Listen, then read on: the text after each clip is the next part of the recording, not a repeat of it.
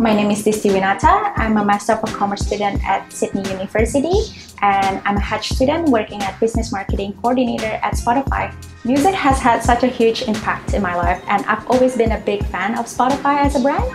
And given my previous experience in digital, social, and content marketing, I feel like this would be a perfect entry role for me. My name is Adam Lyons and I manage the business marketing team here at Spotify for Australia and New Zealand.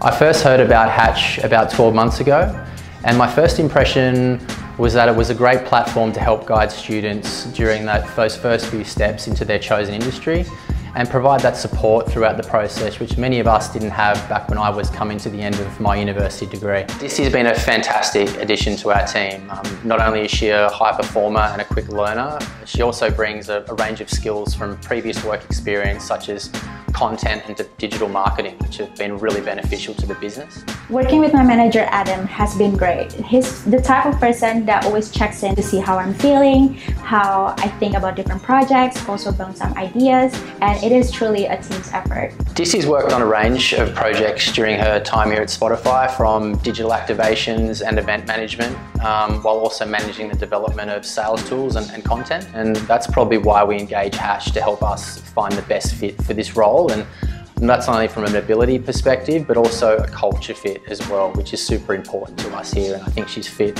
amazingly well into the team and um, had some great feedback from across the business in her time here with us. What I learned the most about my Hatch experience is to truly immerse yourself in the experience because Hatch placements are the ones that allow you to make the most out of it. So um, make it meaningful, make a lot of impact and soak it up.